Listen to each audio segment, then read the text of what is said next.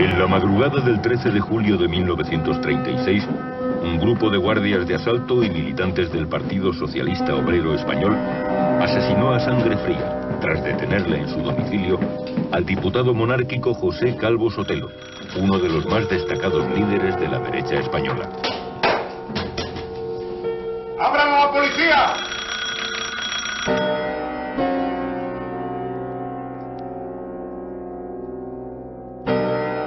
En su entierro y ante la multitud que acompañó el féretro, Antonio Goicochea pronunció las siguientes palabras. Ante esa bandera colocada como una cruz sobre tu pecho, ante Dios que nos oye y nos ve, empeñamos solemne juramento de consagrar nuestra vida a esta triple labor. Imitar tu ejemplo, vengar tu muerte y salvar a España, que todo es uno y lo mismo. Porque salvar a España será vengar tu muerte, e imitar tu ejemplo será el camino más seguro para salvar a España.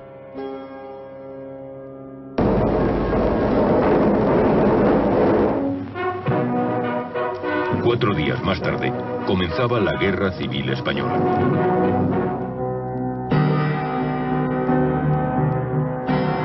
El asesinato de Calvo Sotelo. José Calvo Sotelo es, sin ningún género de dudas, uno de los políticos más notables de la primera parte del siglo XX. Procedente de las filas mauristas, siempre creyó en la necesidad de efectuar una revolución desde arriba, para que no fuera necesario hacerla desde abajo, y siempre creyó en que había que regenerar la vida pública local para permitir así regenerar la vida política española. En 1924 realizó un estatuto municipal que es la norma de gobierno más libre que han tenido los municipios en España, la que les ha dado más poderes, y en la que se contemplaba por primera vez el voto femenino. Ministro de Hacienda en la dictadura de Primo de Rivera, fue autor de un intento de reforma fiscal que contemplaba el impuesto progresivo, tal como se contempla hoy en el artículo 31 de la Constitución española. Asimismo, trató de que tributaran los privilegiados conforme a sus bienes, y eso dio lugar a la revuelta de los privilegiados que estuvo a punto de acabar con la monarquía. No obstante, todas estas facetas de su vida pública están hoy olvidadas ante el hecho de que José Calvo Sotelo fuera el jefe de la minoría monárquica en las Cortes de 1936 y que el 13 de julio del mismo año fuera sacado de su domicilio y asesinado por miembros de la Guardia de Asalto y militantes del Partido Socialista Obrero Español. Nombrado ministro de Hacienda en diciembre de 1925, con tan solo 32 años, su política se orientó de inmediato a combatir el fraude fiscal y a intentar conseguir que tributaran más quienes más tenían. El resultado fue una descomunal revuelta de los privilegiados contra el denominado ministro bolchevique. Revuelta que estuvo a punto de dar al traste con la dictadura e incluso con la monarquía.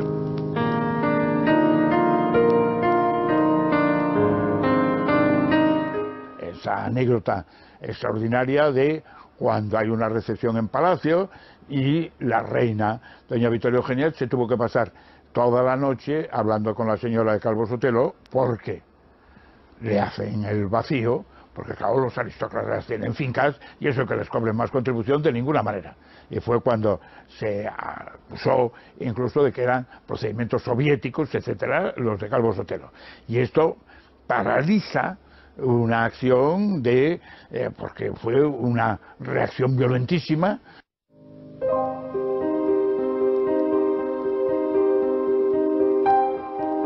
La necesaria marcha atrás no impidió que otras disposiciones menos espectaculares aumentaran tanto la recaudación como la presión fiscal sobre los sectores más favorecidos de la sociedad. Años después, cuando publicó Mis servicios al Estado, Calvo Sotelo no ocultó sus temores de que el egoísmo de las clases conservadoras españolas pudiera llevar a un baño de sangre.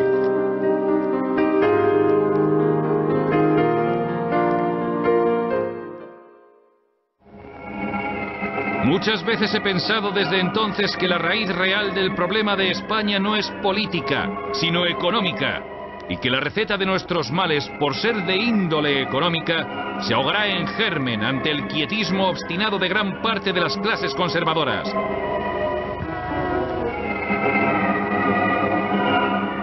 La incomprensión egoísta de multitud de ciudadanos pudientes puede depararnos días desastrosos porque las aguas represadas se sueltan en torbellino cuando rompen la esclusa. Calvo Sotelo fue también un incansable impulsor de la banca pública especializada, creándose durante su mandato el Banco Exterior de España y efectuándose una reforma en profundidad del Banco Hipotecario y el Banco de Crédito Industrial. Con anterioridad, había impulsado el nacimiento del Banco de Crédito Local. Otra medida digna de destacar fue la creación del monopolio de petróleos CAMSA, lo que provocó el enfrentamiento del régimen con las grandes compañías petroleras. Fue un excelente ministro de Hacienda y eh, que ha contemplado eh, ya en el tiempo, etcétera, pues está detrás toda la financiación de la obra de la dictadura que, por otra parte, pues eh, desarrolla el conjunto de la economía española de una manera extraordinaria, etcétera. Y el muñidor, el que está detrás, pues es, eh, es Carlos Sotelo.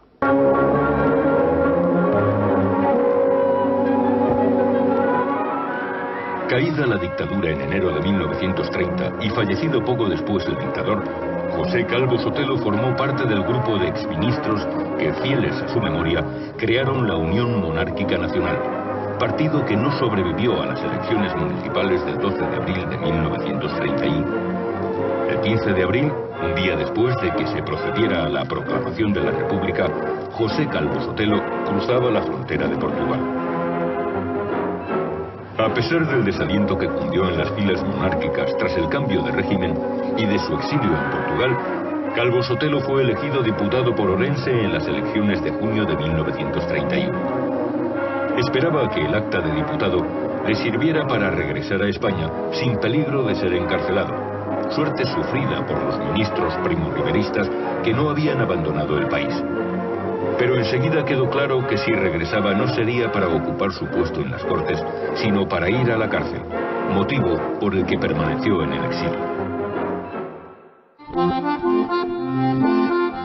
En febrero de 1932, Calvo Sotelo se trasladó a Francia donde jugó un importante papel en las negociaciones entre alfonsinos y carlistas en pro de una conciliación dinástica.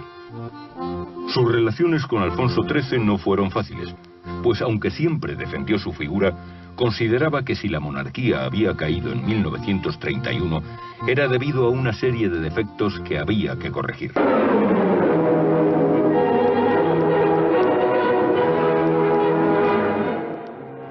Si algún día cambia España su régimen, nunca será para una restauración, sino para una instauración. La monarquía, aunque retorne, no podría volver a ser en nada, absolutamente en nada, lo que era la que pereció en 1931.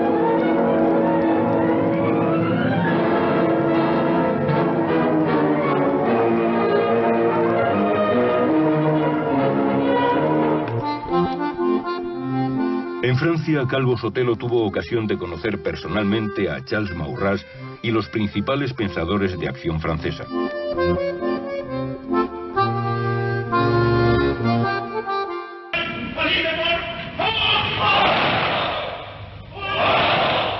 También observó con interés el ascenso al poder de Hitler y las prácticas de gobierno de Mussolini aunque es el New Deal de Roosevelt la política que parece concitar sus mayores entusiasmos. En septiembre de 1933, Calvo Sotelo fue elegido miembro del Tribunal de Garantías Constitucionales por los colegios de abogados, pero tampoco en esta ocasión se le permitió regresar a España.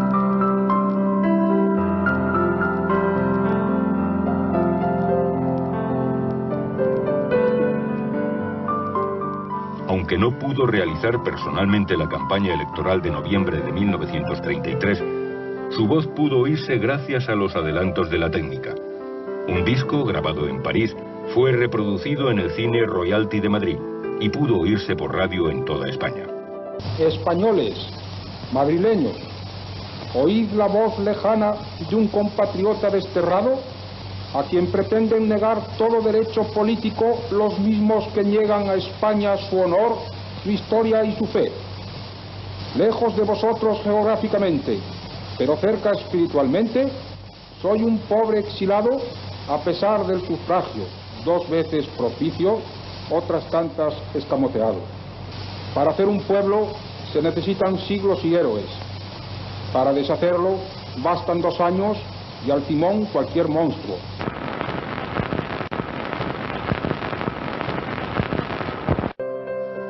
Pese a ser de nuevo elegido diputado en las elecciones de 1933, Calvo Sotelo tardó aún unos meses en volver a España, pues hubo de aguardar a que se concediera una amnistía.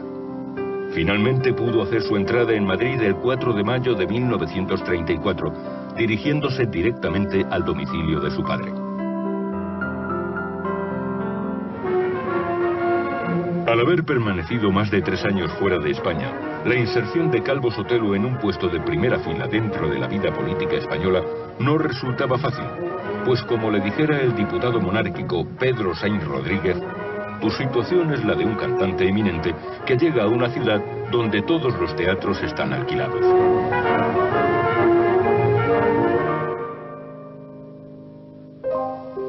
El 14 de junio de 1934, en una entrevista concedida a ABC, Calvo Sotelo planteó la necesidad de articular un bloque o alianza con las fuerzas de la derecha antirrepublicana que no aceptaban la Constitución de 1931.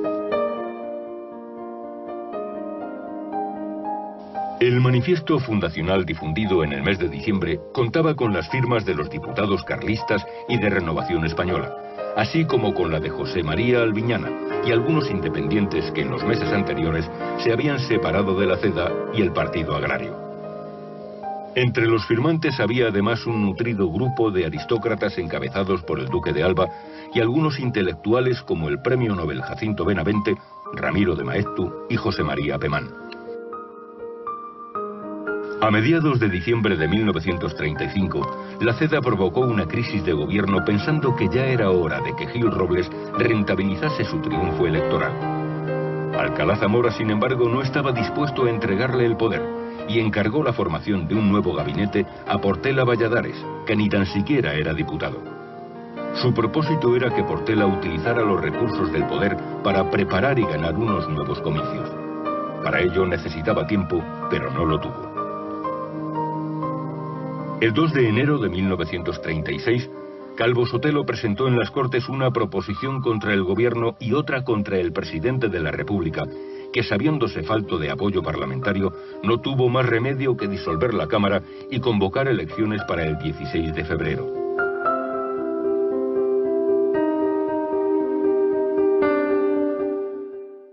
El número de votos fue aproximadamente el mismo. Se discute si hubo unos miles de votos favorables más a la izquierda o a la derecha, pero prácticamente es el mismo número, cuatro millones y medio.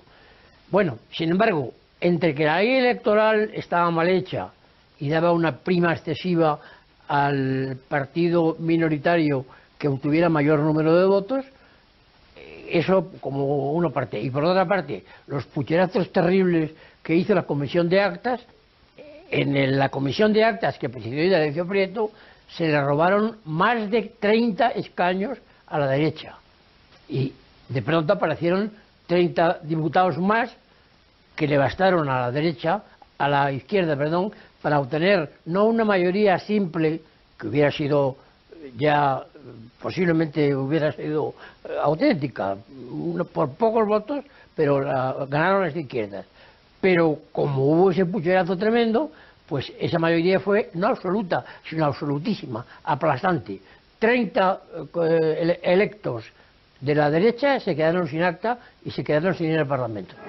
El entonces presidente de la República, Alcalá Zamora, escribió en sus memorias. En la historia parlamentaria de España, no muy escrupulosa, no hay memoria de nada comparable a la Comisión de Actas de 1936.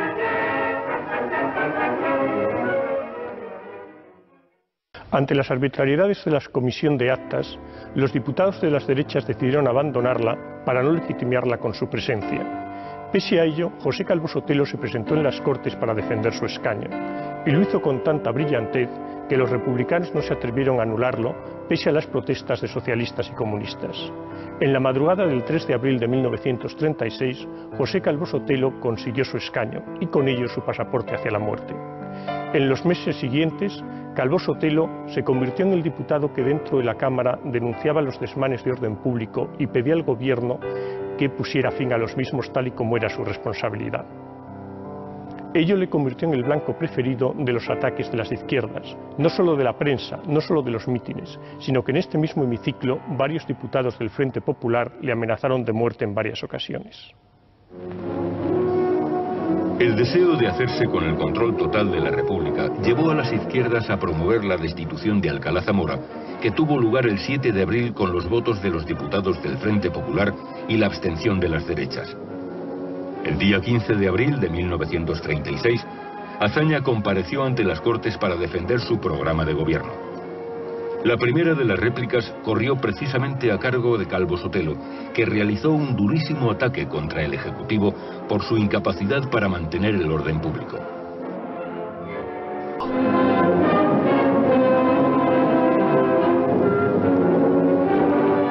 Pero a pesar de ser plenamente consciente de la situación, Azaña consideraba que lo primordial era mantener la unidad del Frente Popular. A partir de entonces, Calvo Sotelo se dedicó a dar en sus intervenciones parlamentarias datos estadísticos sobre los asesinatos y demás incidentes políticos que tenían lugar en España. Datos que sirvieron a la prensa de derechas para hacerse eco de la realidad del país, pues la censura que cribaba sus páginas no podía ejercerse sobre las intervenciones de los diputados.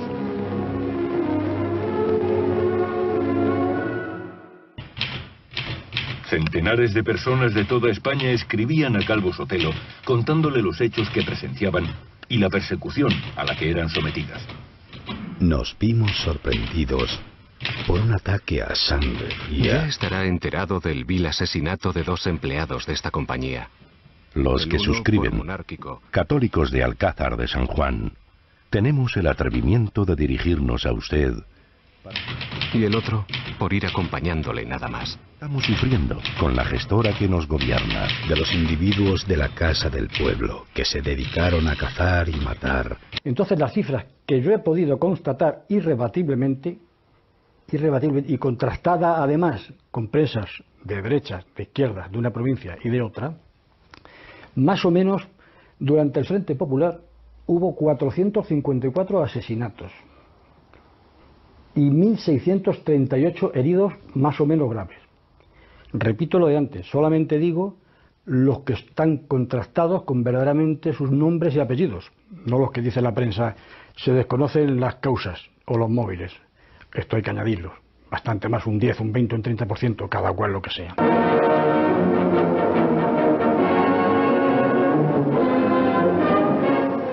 El 1 de mayo, en la manifestación celebrada con tal motivo en Madrid, las masas frente populistas arrastraban o exhibían colgadas de orcas las efigies de Calvo Sotelo, Gil Robles y otros jefes derechistas.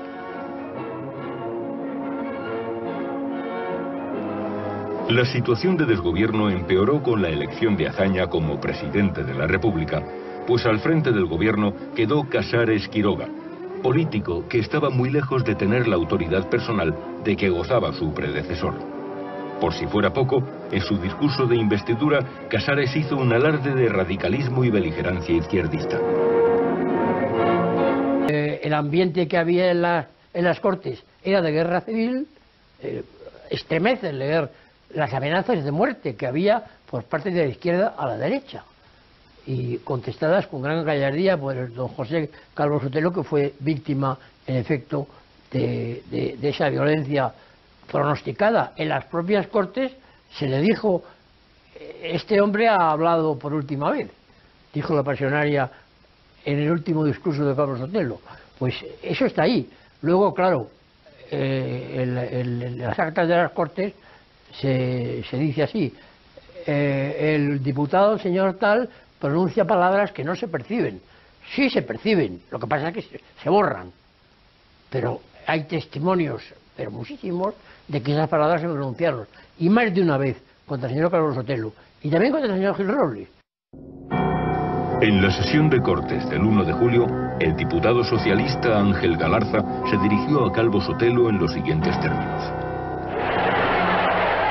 Pensando en su señoría, encuentro justificado todo, incluyendo el atentado que le prive de la vida. Acto seguido se produjo en la sala un escándalo en el que se dejó oír la voz de la pasionaria gritando. Hay que arrastrarlos. Por favor, guarden silencio, señores diputados. Cuando Martínez Orden. Barrio intervino para decir que las palabras de Galarza no aparecerían en el diario de sesiones, la respuesta del diputado del PSOE fue la siguiente.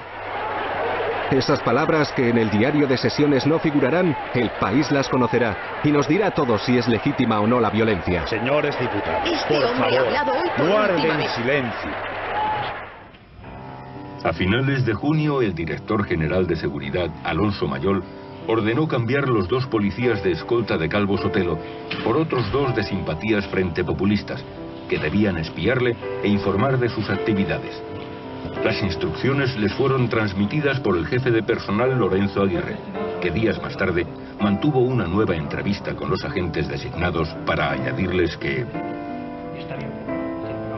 En caso de ocurrir un atentado contra el señor Calvo Sotelo, si sucedía en sitio céntrico debían simular una protección, pero en realidad abstenerse de ayudar en nada. Y si era en un descampado no solo no defenderle, sino rematarle o asesinarle, caso de que la agresión fracasara. Nuestra única orden es cumplir las órdenes.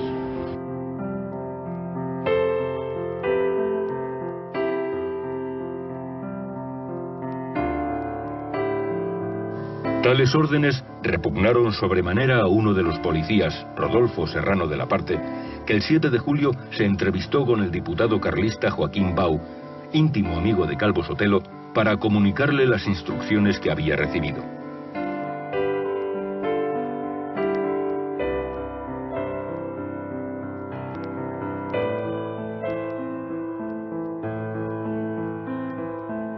Señor ministro. La mañana del día 8, Calvo Sotelo y Bau se entrevistaron con el ministro Molés, que no les hizo excesivo caso, por lo que Calvo Sotelo le hizo responsable de cuanto pudiera ocurrir.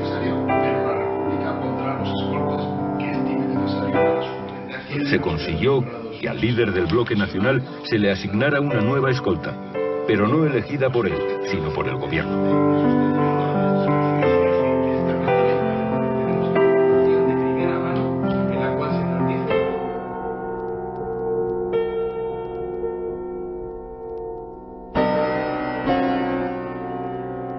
El domingo 12 de julio, Calvo Sotelo y su familia asistieron a misa en la iglesia de la Concepción y luego se dirigieron a casa de su padre, desde donde regresaron a su domicilio.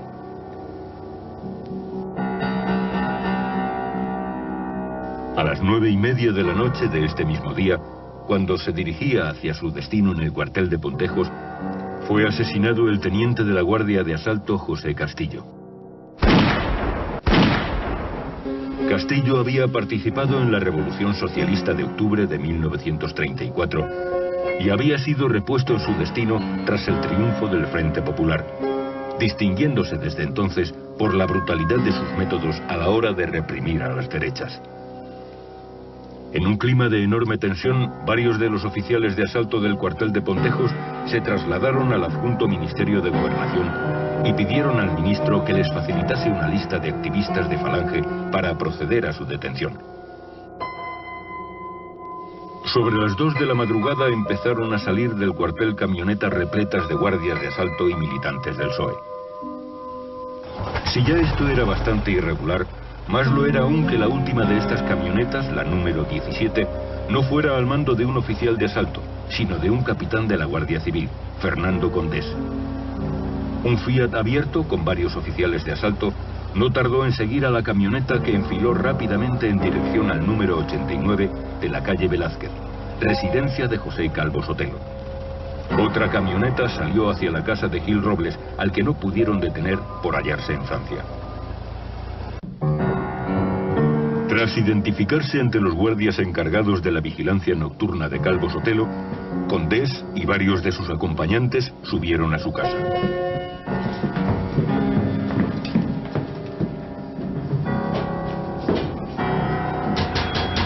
¡Ahora la autoridad!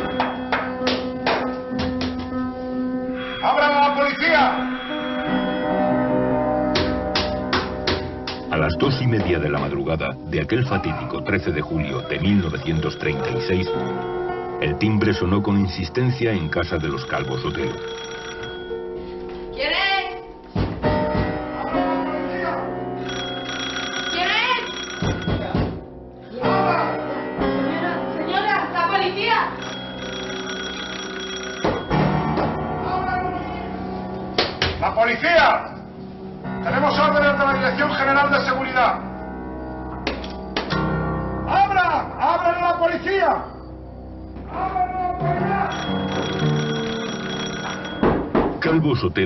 Había comprobado por el balcón que eran policías, abrió la puerta confiado.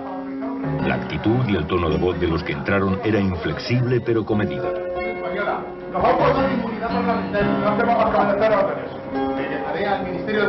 La vivienda fue invadida por el grupo con el pretexto de simular un registro, colocándose junto a las puertas, impidiendo que se hicieran llamadas telefónicas y vigilando a todos.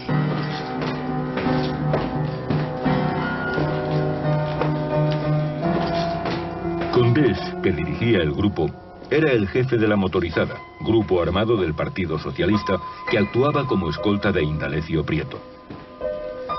En la detención participaron cerca de 20 personas, de los que la mitad no pertenecían a la Guardia de Asalto.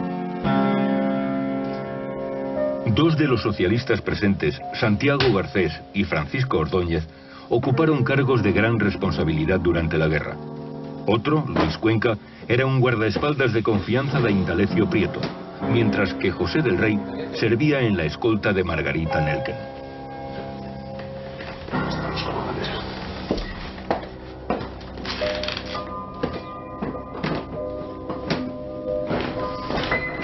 Mi Una vez que comprobaron quién estaba en la casa y que podían actuar impunemente, le comunicaron a Calvo Sotelo que le llevaban detenido.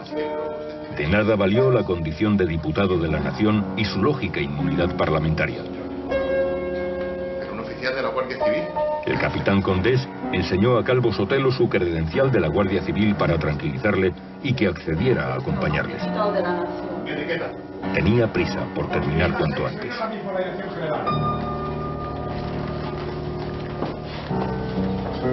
Ante la determinación de los asaltantes y la negativa de permitirle telefonear a la Dirección General de Seguridad para confirmar las órdenes, Calvo Sotelo regresó a su habitación para vestirse, sin que le dejaran ya solo ni un minuto.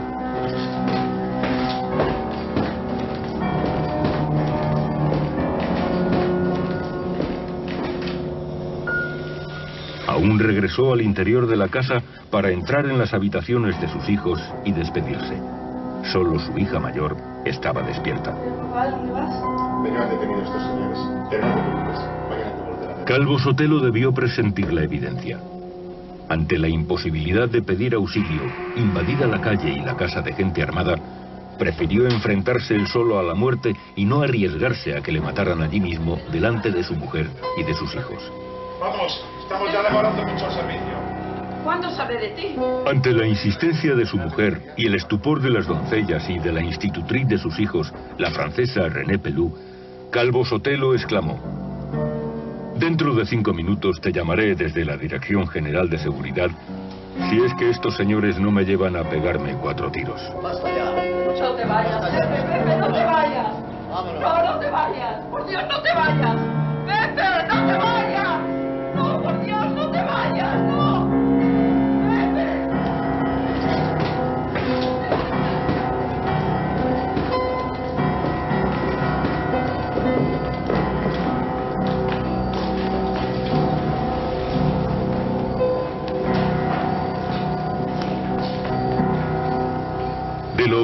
Partir del momento en que Calvo Sotelo entró en la camioneta, tenemos el relato de un testigo presencial.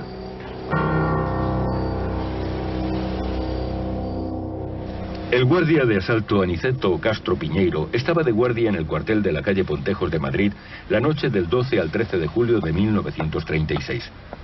A medianoche vio llegar de paisano al capitán de la Guardia Civil Fernando Condés junto con varios pistoleros habituales de la escolta del socialista Indalecio Prieto. A las 2 de la madrugada, junto con varios guardias y el grupo de civiles, salieron en la camioneta número 17 en dirección a la calle Velázquez de Madrid. Tardaron un cuarto de hora escasamente. Bajaron acompañados del señor Calvo Sotelo, quien vestía un traje gris y daba muestras de una absoluta tranquilidad.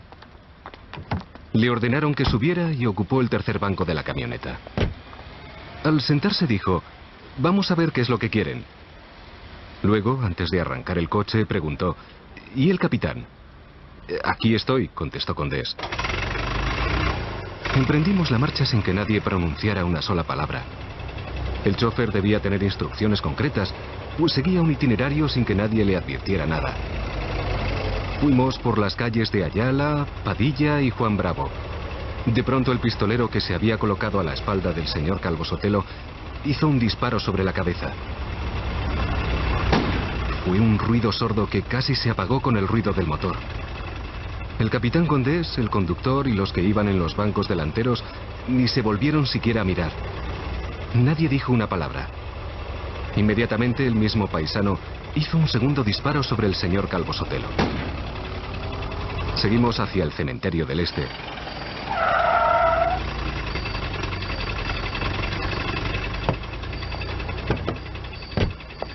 El capitán y el guardia rey descendieron y hablaron con los guardias del cementerio. Nos mandó sacar el cadáver y allí lo dejamos, en el suelo, junto a la entrada.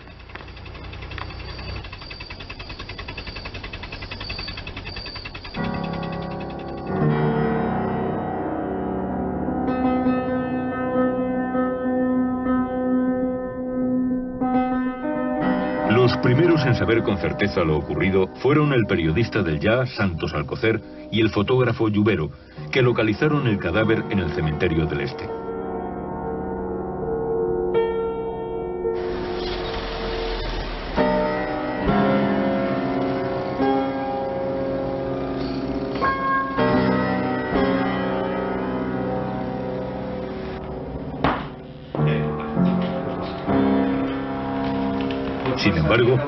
Antes de que la prensa, el gobierno o los partidarios de Calvo Sotelo supieran su suerte, lo ocurrido había sido ampliamente difundido en las filas socialistas.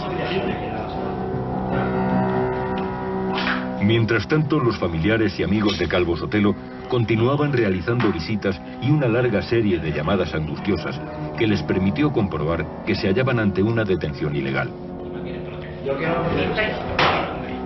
No puede ser.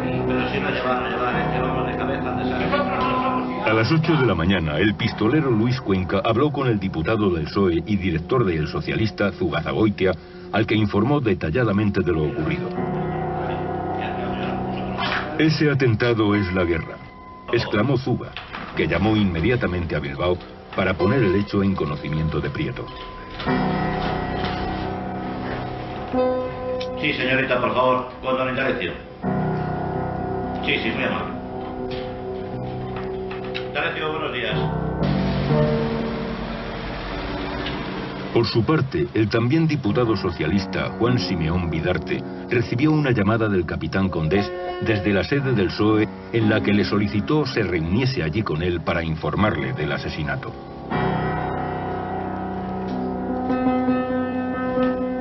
Condés siguió moviéndose por Madrid con la mayor tranquilidad, por lo que un par de días más tarde coincidió con Indalecio Prieto junto a la redacción de El Socialista.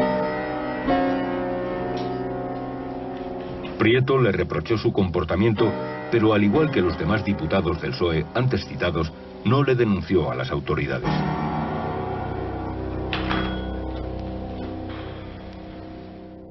Bueno, yo recuerdo ese día. Ese día lo, lo recuerdo que fue el día de, para mí, de la ruptura. Yo estaba paseando con mi padre eh, cerca de la villa de Salas eh, por una carretera, me había sacado de paseo por la tarde y veo que se acerca una señora eh, que estaba eh, muy metida dentro de congregaciones espías de Salas, etcétera, que avanza por la carretera a toda velocidad y dice, don Juan, don Juan, han asesinado a Calvo Sotelo. Esa fue la noticia que llega de repente una villa asturiana en ese sentido. Claro, mi padre volvió, bueno, se ha acabado, esto ya no se puede seguir. eh, fue el sentido que de repente da a esa noticia mi padre. Y de pronto, pues en una casa de un, eh, dirigente socialista, le acababa de nacer una hija y eh, había, eran, ah, estaban relacionados con la familia y había ido mi madre a la casa y vuelve. He dado un portazo y me he marchado de la casa para haber ido a ver a la niña, porque estaban brindando por la muerte, por el asesinato de Carlos Sotelo. Fue una situación que comprendió todo el mundo que esto ya la convivencia es imposible.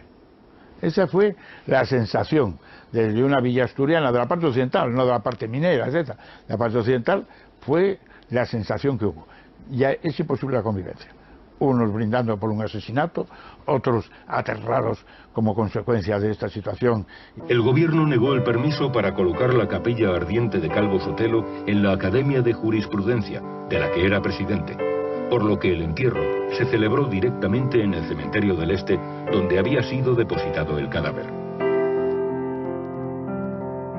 A las 5 de la tarde, el ataúd con los restos mortales de Calvo Sotelo, envuelto en la bandera bicolor, emprendió su camino hacia la tumba acompañado por numerosas personalidades de la derecha, pero sin que hiciera acto de presencia ningún miembro del gobierno. Terminado el entierro, algunos de los asistentes trataron de manifestarse, pero fueron disueltos a tiros por la Guardia de Asalto, contabilizándose cinco muertos y 34 heridos.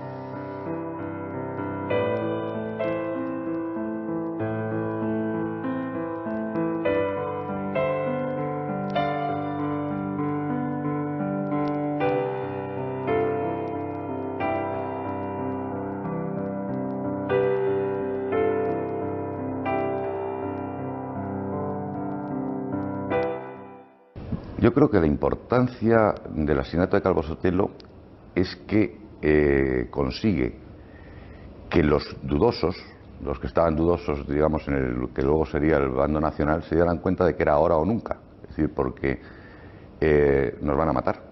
Esa sensación de, de- de ruptura es lo que tiene la importancia del asesinato de Calvo Sotelo. Las noticias eh, fueron, cayeron inmediatamente como una bomba y enseguida se supo que había sido unidades de la policía y de la Guardia Civil.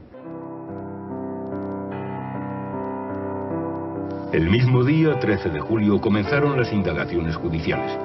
Y aunque llegó a dictarse orden de detención contra el capitán Condés, el proceso duró poco tiempo, pues el 25 de julio, una docena de hombres armados que se identificaron como miembros de las juventudes socialistas se presentaron en el Tribunal Supremo y se llevaron la causa a punta de fusil.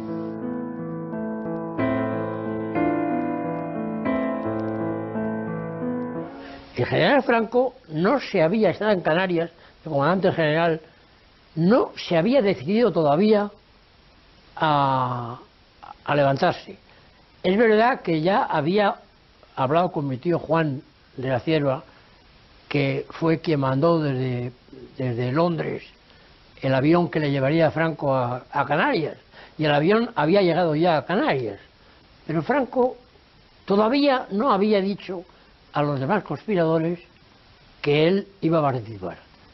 Al oír la muerte de Carlos Sotelo, dijo, se terminó, se acabaron las dudas y llamó al avión, que estaba esperándole a él, mañana salimos para, para Marruecos. Y salieron para Marruecos, donde llegaron al día siguiente. De manera que eh, está muy claro que la guerra civil, el- la chispa final, no, no, es, no se debe a la muerte de, de Carlos Sotelo, pero la chispa final para el estallido fue la muerte de Carlos Sotelo. El presidente de las Cortes, Martínez Barrio, suspendió la sesión prevista para el día 14 de julio ante el temor de que los diputados se asesinasen entre sí. Y el 15 tuvo lugar una tensísima reunión de la Comisión Permanente de las Cortes. Las derechas manifestaron su propósito de abandonar el Parlamento.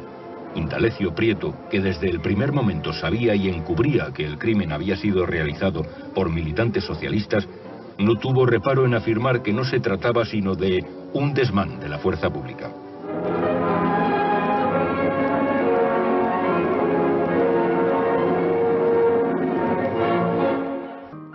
Yo creo que aquel fue, es, el ejemplo brutal de- del fracaso político del régimen republicano y del gobierno del Frente Popular, que necesita acabar con la presencia física del rival político porque está desbordado por la situación. Y seguramente fue también un hecho determinante del apoyo popular que obtuvo la sublevación militar. Me gustaría añadir algunas notas, algunas referencias personales, como fueron, sin duda, su profundo sentido familiar, su notable fe cristiana, la profundidad de sus convicciones morales, su sentido del orden y del deber, y también su valentía personal y su permanente disposición expresa al sacrificio con el objetivo de la España mejor que él realmente deseaba y que orientó siempre su vida.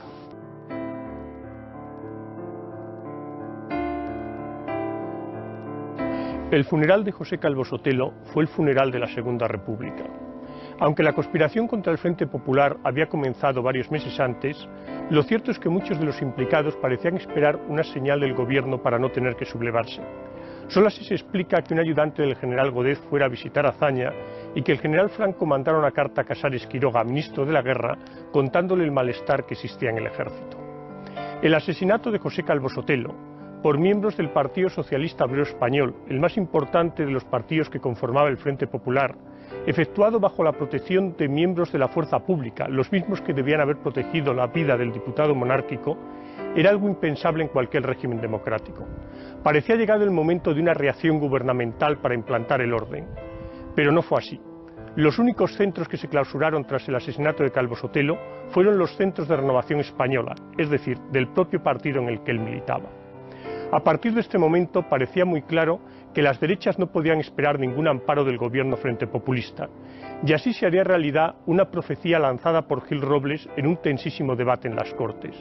Media España no se resigna a morir. Cuatro días más tarde, el 17 de julio de 1936, comenzaba la Guerra Civil Española.